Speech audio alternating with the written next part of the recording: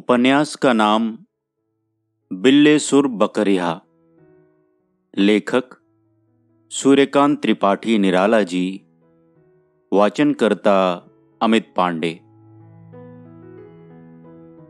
भाग एक। बिल्लेसुर नाम का शुद्ध रूप बड़े पते से मालूम हुआ बिल्लेश्वर है। पूर्वा डिवीज़न में जहाँ का नाम है लोकमत बिल्लेसुर शब्द की ओर है।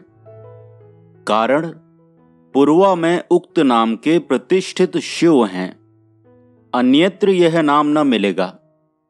इसलिए भाषा तत्व की दृष्टि से गौरवपूर्ण है। बकरिया जहाँ का शब्द है, वहाँ बोकरिया कहते हैं। वहाँ बकरी को बोकरी कहते हैं। मैंने इसका हिंदुस्तानी रूप निकाला है। हा का प्रयोग हनन के अर्थ में नहीं, पालन के अर्थ में है। बिल्लेसुर जाति के ब्राह्मण तरी के सुकुल हैं। खेमे वाले के पुत्र खयाम की तरह किसी बकरी वाले के पुत्र बकरिया नहीं।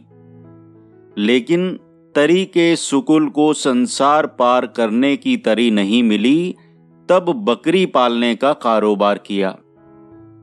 गाँव वाले उक्त पदवी से अभिहित करने लगे। हिंदी भाषा साहित्य में रस का अकाल है, पर हिंदी बोलने वालों में नहीं। उनके जीवन में रस की गंगा जमुना बहती हैं। बीसवीं सदी साहित्य की धारा उनके पुराने जीवन में मिलती है। उदाहरण के लिए, अकेला बिल्लेसुर का घराना काफ़ी है। बिल्लेसुर चार भाई आधुनिक साहित्य के चारों चरण पूरे कर देते हैं। बिल्लेसुर के पिता का नाम था मुक्ता प्रसाद। क्यों इतना शुद्ध नाम था मालूम नहीं। उनके पिता पंडित नहीं थे। मुक्ता प्रसाद के चार लड़के हुए, मन्नी, ललई बिल्लेसुर और दुलारे। नाम उन्होंने स्वयं रखे, पर ये शुद्ध नाम हैं। उनके पुकारने के नाम गुण अनुसार और और हैं। मन्नी पैदा होकर साल भर के हुए, पिता ने बच्चे को गर्दन उठाए बैठा झपकता देखा तो गपुआ कहकर पुकारना शुरू किया, आदर में गप्पू। दूसरे लड़के ललई की गोराई रोयों में निखर आई थी, आँखें भी कंज लोचन, स्वभाव में बदले बदले, पिता ने नाम रखा भर्रा, आदर में भूरू। बिल्लेसुर के नाम में ही गुड़ था। पिता बिलुआ, आदर में बिल्लू कहने लगे। दुलारे अपना ईश्वर के यहाँ से खतना करा कर आए थे, पिता को नामकरण में आसानी हुई कटुआ कहकर पुकारने लगे, आदर में कट्टू। अभाग्यवश पुत्रों का विकास देखने से पहले मुक्ता प्रसाद संसार बंधन से मुक्त हो गए। उनकी पत्नी देखरेख करती नहीं पर वे भी पीस कर चौका टहल कर कंडे पात कर ढोर छोड़कर, रोटी पकाकर, छोटे से बाग के आम महुए बीन कर लड़कों को किसानी के काम में लगाकर ईश्वर के यहाँ चली गईं। उनके न रहने पर चारों भाइयों की एक राय नहीं रही। विवाद काम में विघ्न पैदा करता है। फलतः चार भाइयों की दो टोलियाँ हुई। मन्नी और बिल्लेसुर एक तरफ़ हुए, ललई और दुलारे दूसरी तरफ़, जैसे सनातन धर्मी और आर्य समाजी। कुछ दिन इसी तरह चला। फिर इनमें भी शाखें फूटी, जैसे वैष्णव और शाक्त, वैदिक और वितंडावादी। फिर सबकी अपनी डफली और अपना राग रहा। सनातन धर्मानुसार मन्नी दुखी हुए कि तरी के सुकुल होने के कारण कोई लड़का नहीं ब्याह रहा। पर विवाह आवश्यक है, इस लोक के लिए भी और परलोक के लिए भी। माता पिता गुजर गए हैं पानी तो उन्हें मिल जाता है, पर माता जी को बढ़िया नहीं मिलती। बिना गृहिणी के घर में भूत डेरा डालते हैं। विचार के अनुसार मन्नी बातचीत करते और जहाँ कहीं अनाथ की लड़की देखते थे, डोरे डालते थे। एक जगह लाशा लग गया। कहना न होगा, ऐसे विवाह की बातचीत में अत्युक्ति ही प्रधान होती है, अर्थात झूठ ही अधिक यानी एक पैसे की हैसियत एक लाख की बताई जाती है। मन्नी के विवाह में ऐसा ही हुआ। लड़की ने माँ का दूध छोड़ा ही था, माँ बेबा थी। कहा गया, दो तीन सौ रुपए लेकर क्या करोगी, जबकि लड़की को अभी दस साल पालना पोसना है, वहीं चलकर रहो, घी दूध खाओ और रानी की तरह रहकर लड़की की परवरिश करो। बात माँ के दिल में बैठ गई। मन्नी तब तीस साल के थे, पर चूँकि नाटे कद के थे, इसलिए अठारह उन्नीस की उम्र बतलाई गई। मूछों की वैसी बला न थी। बात खप गई। मन्नी के खेतों के पास एक झाड़ी है। कहते हैं वहाँ देवता झाड़ खंडेश्वर रहते हैं। एक दिन शाम को मन्नी धूप दीप अक्षत चंदन फल फूल जल लेकर गए और उकड़ू बैठकर उनकी पूजा करते न जाने क्या क्या कहते रहे। फिर लौटकर प्रसाद पाकर लेटे और पहर रात रहते पुरवा की तरफ़ चल दिए।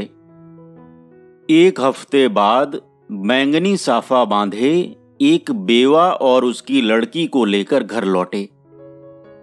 रास्ते में जमींदार का खलिहान लगा था, दिखाकर कहा सब अपनी ही रब्बी है। सासू जी ने मुश्किल से आनंदा तिरेक को रोका कुछ बड़े गाँव के बागात देख पड़े। मन्नी ने हाथ उठाकर बताया, वहाँ से वहाँ तक सब अपनी ही बागें हैं। सासू जी को संदेह न रहा कि मन्नी मालदार आदमी है। घर टूटा था। भाइयों से जुदा होकर एक खंडहर में रह रहे थे। लेकिन बाग देवी प्रचंड थीं, खंडर को भी खिला दिया। पहुँचने से पहले रास्ते में जमींदार की हवेली दिखाकर बोले, हमारा असली मकान यह है, लेकिन यहाँ भाई लोग हैं, आपको एकांत में ले चलते हैं, वहाँ आराम रहेगा, यहाँ आपकी इज़्ज़त न होगी, फिर उसी को हवेली बना लेंगे। सासू ने श्रद्धापूर्वक कहा, हाँ भैया, ठीक है बाहरी आदमियों में रहना अच्छा नहीं। मन्नी खंडर में ले गए। इस दिन पसेरी भर दूध ले आए। सासू जी लज्जित होकर बोली, ऐ, इतना दूध कौन पिएगा? मन्नी ने गंभीरता से उत्तर दिया, औटने पर थोड़ा रह जाएगा, तीन आदमी है, ज़्यादा नहीं। फिर अभी कुछ दूध चीनी शरबत के तौर पर पिएँगे? सासू ने आराम की सांस ली। मन्नी भंग छानते थे। ठाकुर द्वारे में एक गोला पीसकर तैयार किया और चुपचाप ले आए। दूध में शक्कर मिलाकर गोला घोल दिया। भंग में बादाम की मात्रा काफ़ी थी। सासू जी को अमृत का स्वाद आया। एक सांस में पी गईं। मन्नी ने थोड़ी सी अपनी भावी पत्नी को पिलाई, फिर खुद पी। सासू जी हाथ पैर धोकर बैठी, मन्नी पूड़ी निकालने लगे। जब तक नशा चढ़े चढ़े, तब तक काम कर लिया। पूड़ी तरकारी, दूध, शक्कर, मिठाई खटाई, बड़ी तत्परता से सासू जी को परोसा। सासू जी को मालूम दिया मन्नी बड़ी तपस्या के फल मिले। खूब खाया। मन्नी ने पलंग बिछा दिया था, माँ बेटी लेटी। मन्नी भोजन करके ईश्वर स्मरण करने लगे। आधी रात को ज़ोर से गला झाड़ा, पर सासू जी बेखबर रहीं। फिर दरवाजे पर हाथ दे दे मारा, पर उन्होंने करवट भी न ली। मन्नी समझ गए कि सुबह से पहले आँख न खोलेंगी। बस अपनी भावी पत्नी को गले लगाया और भगवान बुद्ध की तरह घर त्याग कर चल दिए। पत्नी गले लगी सोती रही। सुबह होते ही मन्नी ने सात का फासला तय किया। जहाँ पहुँचे वहाँ रिश्तेदारी थी। लोग सद गए। सासू जी ने सवेरे हल्ला मचाया। बात खुली, पर चिड़िया उड़ चुकी थी। वे रो पीट कर शाप देती हुई कि तू मर जा, तेरी चारपाई गंगा जी जाए, घर चली गई। मन्नी शुभ दिन देखकर चुपचाप विवाह कर पत्नी को साथ लेकर प्रदेश चले गए। पत्नी की दस बारह साल सेवा की। अब धर्म की रक्षा करते हुए उसे बीस साल की अकेली, उसकी माँ की गोद में जैसे एक कन्या छोड़कर स्वर्ग सिधार गए हैं। मन्नी कट्टर सनातन धर्मी थे। ललई का दूसरा हाल है। पहले ये भी कलकत्ता बंबई की खाक छानते फिरे, अंत में रतलाम में आकर डेरा जमाया। यहाँ एक आदमी से दोस्ती हो गई। कहते हैं ये गुजराती ब्राह्मण थे।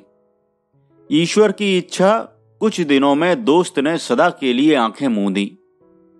लाचार दोस्त के घर का कुल भार ललई ने उठाया।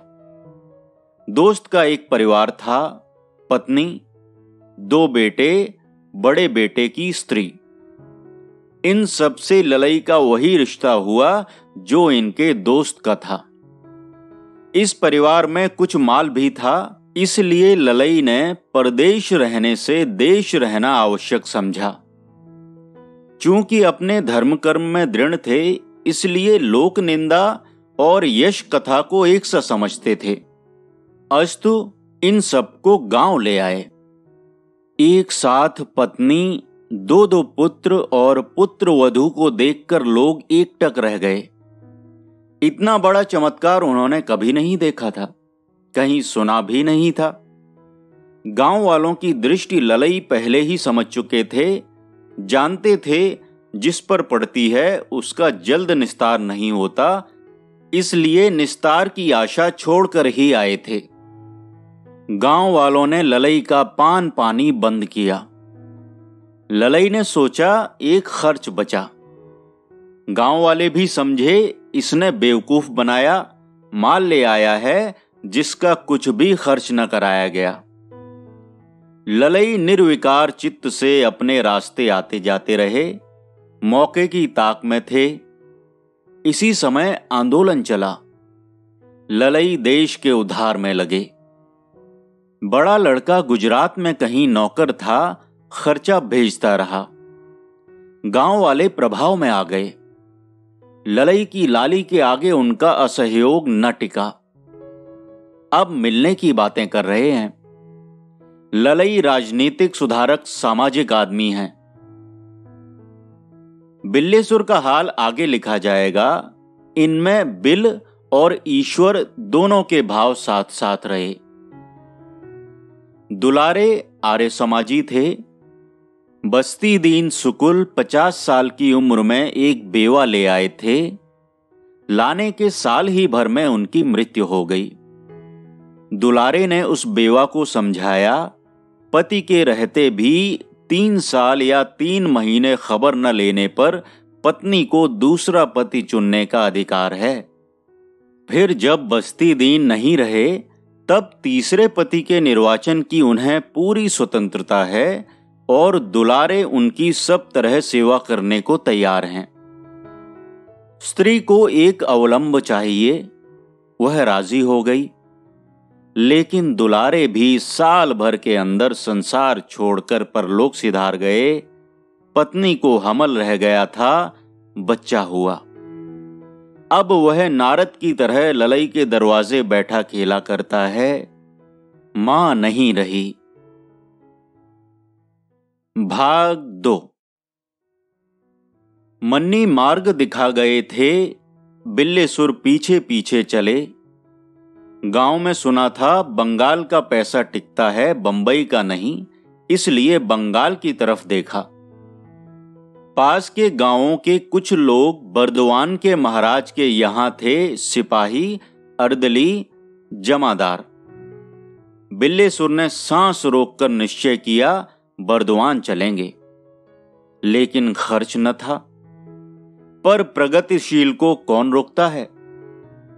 यद्यपि उस समय बोल्शेविज्म का कुछ ही लोगों ने नाम सुना था बिल्लेसुर को आज भी नहीं मालूम फिर भी आइडिया अपने आप बिल्लेसुर के मस्तिष्क में आ गई। वे उसी फटेहाल कानपुर गए। बिना टिकट कटाए कलकत्ते वाली गाड़ी पर बैठ गए। इलाहाबाद पहुँचते पहुँचते चेकर ने कान पकड़कर गाड़ी से उतार दिया। बिल्लेसुर हिंदुस्तान की जलवायु के अनुसार सविनय कानून भंग कर रहे थे। कुछ बोले नहीं, चुपचाप उतर आए। लेकिन सिद्धांत नहीं छोड़ा। प्लेटफॉर्म पर चलते फिरते समझते बूझते रहे। जब पूरब जाने वाली दूसरी गाड़ी आई, बैठ गए। मुगल सराय तक फिर उतारे गए, लेकिन दो तीन दिन में चढ़ते उतरते बर्दवान पहुँच गए। पंडित सत्तीदीन सुकुल महाराज बर्दवान के यहाँ जमादार थे। यद्यपि बंगालियों को सत्तीदीन शब्द के उच्चारण में अड़चन थी, वे सत्यदीन या सतीदीन कहते थे, फिर भी सत्तीदीन की उन्नति में वे कोई बाधा नहीं पहुँचा सके। अपनी अपार मूर्खता के कारण सत्तीदीन महाराज के खजांची हो गए आधे। आधे इसलिए कि ताली सत्तीदीन के पास रहती थी, खाता एक दूसरे बाबू लिखते थे। सत्तीदीन इसे अपने एकांत विश्वासी होने का कारण समझते थे। दूसरे हिंदुस्तानियों पर भी इस मर्यादा का प्रभाव पड़ा। बिल्लेसुर समझ बूझकर इनकी शरण में गए। सत्तीदीन सस्त्रीक रहते थे, दो तीन गायें पाल रखी थीं। स्त्री शिखर दशना थीं, यानी सामने के दो दांत आवश्यकता से अधिक बड़े थे। होठों से कोशिश करने पर भी न बंद होते थे। पैकू के सुकुल, कनौजियापन में बिल्लेसुर से बहुत बड़े फलतः बिल्लेसुर को यहाँ सब तरह अपनी रक्षा देख पड़ी। बिल्लेसुर सत्ती दीन के यहाँ रहने लगे। ऐसी हालत में गरीब की तहजीब जैसी दबे पाँव, पेट खलाए, रीढ़ झुकाए, आँखें नीचे किए आते जाते रहे। उठते जौबन में सत्ती दीन की स्त्री को एक सोहलाने वाला मिला। दो तीन दिन तक भोजन न खला। एक दिन औरत वाले कोठे जी गया। नक्की सुरों में बोली, मैं कहती हूँ बिल्लेसुर तुम तो आ ही गए हो और अभी हो ही। इस चरवाहे को विदा क्यों ना कर दूँ? हराम का पैसा खाता है। कोई काम है? घास खड़ी है। दो बोझ काट लानी है। नहीं पैर की बंधी मूठे हैं, यहाँ वहाँ का जैसा धान का पैरा नहीं। बड़ा बड़ा कतर देना है और थोड़ी सी सानी कर देनी है। देश में जैसे डंडा लिए यहाँ ढोरों के पीछे नहीं पड़ा रहना पड़ता लंबी लंबी रस्सियाँ, तीन गायें हैं, घास खड़ी है। बस ले गए और खूंटा गाड़ कर बाँध दिया, गायें चरती रहीं, शाम को बाबू की तरह टहलते हुए गए और ले आए। दूध दूह लिया रात को मच्छर लगते हैं, गीले पैर का धुआँ दे दिया। कहने में तो देर भी लगी। कहकर सत्ती दीन की स्त्री ने कनपटी घुमाई और दोनों होंठ सटाने शुरू किए। बिल्ले सुर चौकन ने ढोर चराने के लिए समंदर पार नहीं किया। यह काम गाँव में भी था, लेकिन प्रदेश है, अपना कोई नहीं।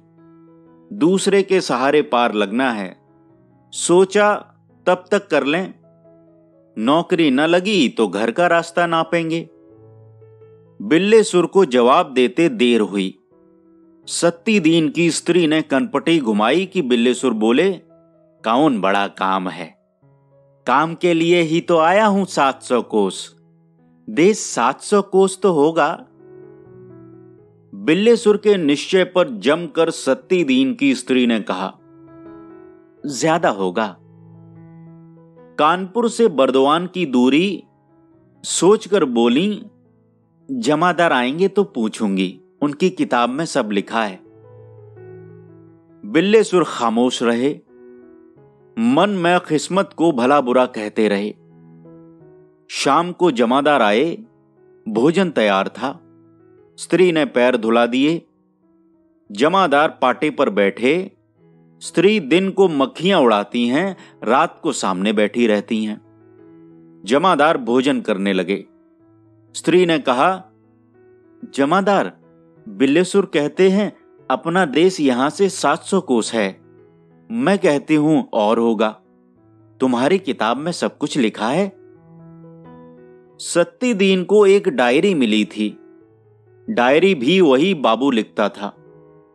लिखने के विषय के अलावा और क्या क्या उसमें लिखा है, सत्ती दीन उस बाबू से कभी कभी पढ़ाकर समझते थे।